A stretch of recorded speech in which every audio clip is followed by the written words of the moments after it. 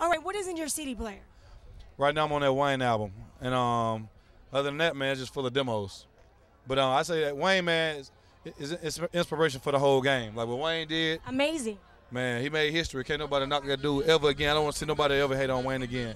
If you hate on Wayne, then you don't love yourself. You know, it's always a mix of stuff I can play with my daughters in the car and stuff I can't play with my daughters in the car. You know, so I have a, I have a Estelle in there. I have the new Erykah Badu. I have a, a mixtape that a buddy of mine makes uh, at the network. Has got some, you know, like that new Jay Z freestyle, uh, a billion. Of course, I got the new Wayne. you know, uh, I got Gnarls Barkley. Um, You got a large. It's a, a large variety. I got Tarrus Riley. If you're familiar with reggae music, is the biggest thing to come out of Jamaica. Probably Sizzla, Buju.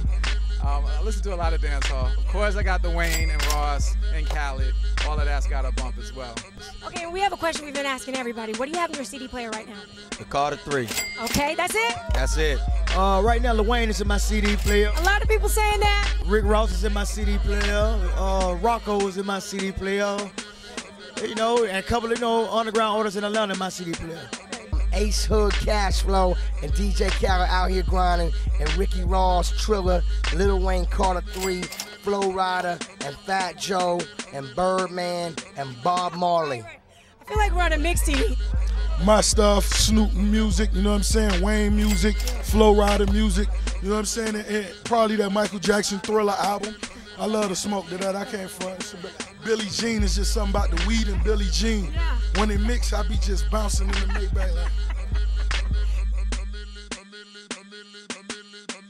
What is in your CD player? Please tell me. CD player. Well, being that the A track just broke, the one that I, no, I'm joking. Uh, what do I have? Uh, the new Weezy, Ne-Yo, uh, Jay Z's, American Gangster, uh, Britney Spears. Really? Yeah, I don't like to admit it, but I do.